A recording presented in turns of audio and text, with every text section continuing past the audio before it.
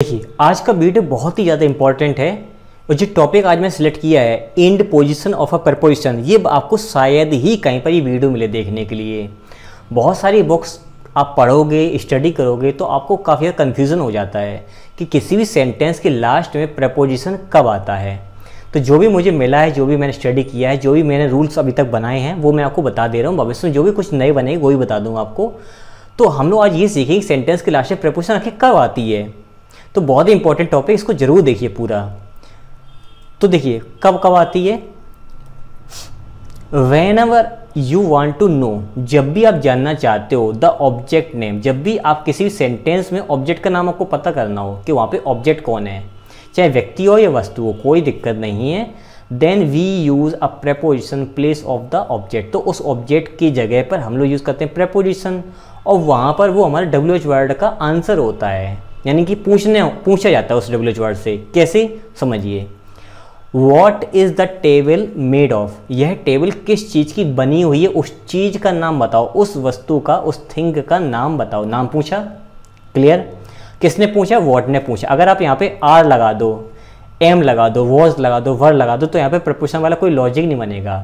Preposition sentence के last में अगर आना है और ऑब्जेक्ट का, किसी व्यक्ति या वस्तु का नाम जानना है तो सेंटेंस स्टार्टिंग में डब्ल्यू वर्ड का आना ज़रूरी होता है। डब्ल्यू वर्ड का मतलब होता है वॉट से शुरू होना सारे शब्द जैसे वॉट वेयर वैन और ऐसे शुरू होने वाले how how long how far how often ये सारे शब्द। With whom are you are you teaching तुम किसके साथ पढ़ा रहे हो? तो देखिए यहाँ पे विद जो मैं सेंटेंस के स्टार्टिंग में आ गया। लेकिन अगर मैं बोलूँ कि whom are you teaching with तुम किसके साथ पढ़ा रहे हो? तो ये विद ये बता रहा है और यहाँ पर ये दोनों लोग ये पूछ रहे हैं कि तुम किसके साथ पढ़ाते हो? उस व्यक्ति का नाम बताओ। तो यहाँ पे पर्सन के बारे में बात हो रही है, उस ऑब्जेक्ट के बारे में मुझे जानना है कि तुम तो पढ़ाते हो, तुम तो सब्जेक्ट हो गए, लेकिन तुम किसके साथ में पढ़ाते हो? उसका नाम मुझे जानना है। तो यहाँ पर ये विद यहाँ पर ऑब्जेक्ट का नाम पूछ रहा है। Which thing is the curd made from ऐसी कौन सी चीज़ जिससे दही बनता है? उसका नाम बताइए। तो यहाँ पे प्रपोजिशन फ्रॉम नहीं लगाओगे तो इसका मतलब यहाँ पे नॉनसेंस हो जाएगा, यानी कोई सेंस नहीं निकलेगा। फ्रॉम ये बता रहा है कि मुझे उस वस्तु का नाम बता दो। तो जब भी किसी व्यक्ति वस्तु का नाम जानना हो सेंटेंस स्टार्टिंग में डब्ल्यूएच वर्ड लगाया हो तो लास्ट में प्रपोजिशन आएगा। अगर हम बात करें प्रपोजिशन की तो प्रपोजिशन कभी कभी सेंटेंस के लास्ट में आती है लेकिन वो वहाँ पे प्रपोजिशन ही एडवर्ब होती है। जैसे कि he has not come since वह अभी तक नहीं आया। इस सिंस का मतलब यहाँ पर येट है। अब लॉजी में समझिए। एक मैंने आपको प्रेपोजिशन कंजंक्शन और एडवर्ब के पीछे डिफरेंस बताया था। वही वाला रूल यहाँ पर ये है। तो यहाँ पे अगर आप उस वीडियो नहीं देखो उसको पहले देखिए, उसको समझिए, फिर ये ज़्यादा समझ में आएगा। तो सिंस यहाँ पर जो है प्रपोजिशन नहीं, बल्कि यहाँ पर ये एडवर्ब है कन्फ्यूज़न हो जाता है। ही इज़ इन वह अंदर है। इनकी जगह हम इनसाइड भी कर सकते हैं। इनसाइड तो ओवरऑल यहाँ पे ये प्रपोजिशन जो दिखाई दे रही है प्रपोजिशन नहीं है, ये एडवर्ब है, क्योंकि स्थान के बारे में बात कर रहा है। ये यहाँ पर एज ए एडवर्ब वर्क कर रहा है। The class is over class समाप्त हो चुकी है. क्लास कैसी है? समाप्त हो चुकी है. तो यहाँ पर ओवर जो है, वो प्रपोशन नहीं है.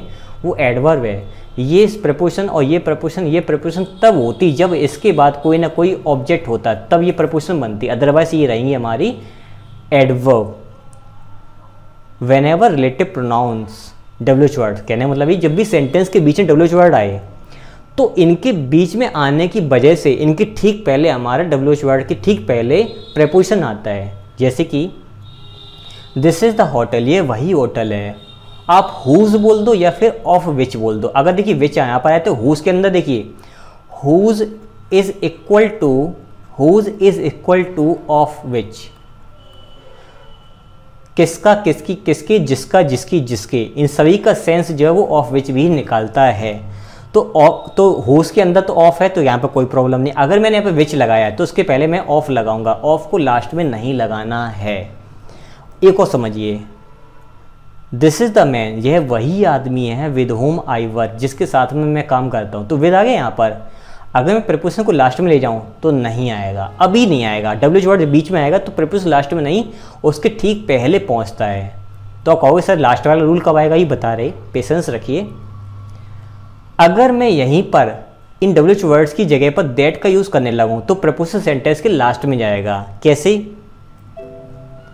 दिस इज़ द पेज ये वही पेज है that he was referent to जिसको वह बता रहा था। तो देखिए दैट आ गया बीच में तो यहाँ पे टू लास्ट में पहुँचेगा। अगर डब्ल्यूएच वर्ड बीच में आएगा तो विद यानी कि प्रपोशन पहले आएगा। और दैट अगर आया तो प्रपोशन जाएगा लास्ट में। क्लियर एक और देख लो। That is that was the book ये वही बुक थी that I was refer that I was searching for तो यहाँ पे ये ध्यान दीजिए कि यहाँ पे दैट बीच में आ गया, दो सेंटेंस अपन जोड़ा तो यहाँ पर दैट जो प्रपोशन को लास्ट में भेज देता है तो प्रपोशन यहाँ पर इस तरह से आएगा। ये रेफर का टू है, जो दैट की वजह से लास्ट में आया है, और ये सर्च का फॉर है, जो यहाँ पर सेंटेंस के लास्ट में आया है। सपोज़ कीजिए आपका मन यहाँ पर विच का लगाने का है। सपोज़ कीजिए आपका मन डब्ल्यू वर्ड लगाने का यहाँ पर है डेट की जगह पर। तो अगर आपने विच यहाँ पर लगा दिया है तो ये टू जो इसके पहले आ जाएगा। और यहाँ पे आपने अगर विच लगा दिया तो फॉर जो विच के पहले पहुँच जाएगा। अब सेंटेंस हमारा करेक्ट हो जाएगा ऐसे। अगर दैट लगाओ तो जाएगा पीछे। अगर हम बात करें कि रिलेटिव प्रोनाउंस अगर हम सेंटेंस से हटाई दें, बीच से गायब कर दें तो क्या होगा? जैसे कि this is the man I work with ये वही आदमी जिसके साथ मैं काम करता हूँ। आप ध्यान से देखो यहाँ पर। This is the man sentence एक अलग है और आई वर्क सेंटेंस अलग है। यहाँ पे होम गायब हो गया है। यहाँ पर मैंने होम को गायब कर दिया है। तो विद अपना जाएगा पीछे। अगर यहाँ पे डब्ल्यू वर्ड होता तो पहले लग जाता। दैट होता तो लास्ट में जाता। है और ना दैट है ना डब्ल्यू वर्ड्स अगर हैं तो प्रपोजिशन फिर लास्ट में ही जाती है। चेक कीजिए एग्ज़ाम्पल को ये वाला। आ, ये वाला देखिए। This is the man I work तो विद होम आई वर्क तो होम को हटा दी तो विद जो पीछे पहुँच जाएगा। तो फिर अगला देखते हैं। This is the page he was referent to तो यहाँ पे देखिए दैट को मैंने गायब कर दिया। तो टू पीछे पहुँच गया। दैट लगा भी देते, तब भी टू पीछे पहुँचता। तो ओमिशन यहाँ पे हुआ है कंजंक्शंस का इस वाले पार्ट में। अगर सेंटेंस में, ध्यान से समझना, अगर सेंटेंस में अपने पास कोई ऑब्जेक्ट है, और इसी ऑब्जेक्ट से रिलेटेड कोई अपना एक इन्फिनेटिव है मतलब टू प्लस वी वन है तो अपना प्रेपोजिशन है, वो इस ऑब्जेक्ट के अकॉर्डिंग सेंटेंस के पीछे जाएगी। कैसे जाती है? देखिए, जैसे मैं बोला I have sorry I play with a bat मैं एक बैट के साथ खेलता हूँ, मैं बल्ले के साथ में खेलता हूँ। तो I have a bat to play with अब ध्यान से देखिए, ये सब्जेक्ट है मेरा, ये मेरा वर्ब है, ये मेरा ऑब्जेक्ट है। इस ऑब्जेक्ट के अकॉर्डिंग यहाँ पर एक इन्फिनेटिव आया। बैट से क्या किया जाता खेला जाता है। तो ये इन्फिनेटिव किसके हिसाब से आई है? इसके हिसाब से। अब इसी के हिसाब से यहाँ पर एक आएगी प्रपोजिशन ये याद कर लीजिए। तो अगर इस सेंटेंस को मैं ऐसे घुमा करके लिख दूँ तो मेरा प्रपोजिशन जाएगा लास्ट में। ये वाला ये वाला उठ करके चला जाएगा पीछे। एक और एग्जांपल से देखिए। आई रीड ए बुक तो रीड मेरा एक काम है, और बुक मेरा हो गया ऑब्जेक्ट तो ये आई सब्जेक्ट ये वर्ब और ये मेरा ऑब्जेक्ट इसके हिसाब से मैंने टू प्लस वी वन पीछे जोड़ा इन्फिनेटिव तो इस बुक के अकॉर्डिंग एक प्रपोजिशन यहाँ पर लास्ट में जाएगी बाई क्लियर फिर से मैं कहता हूँ I sat on a chair मैं चेयर पर बैठता हूँ।